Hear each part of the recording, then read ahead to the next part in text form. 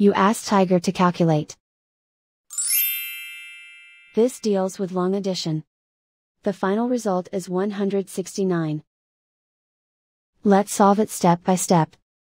Rewrite the numbers from top to bottom, aligned by their place values, add up the digits in each column, from right to left. 9 plus 0, equals 9. 3 plus 3, equals 6. Write 1 in the hundreds place. And so the final result is 169.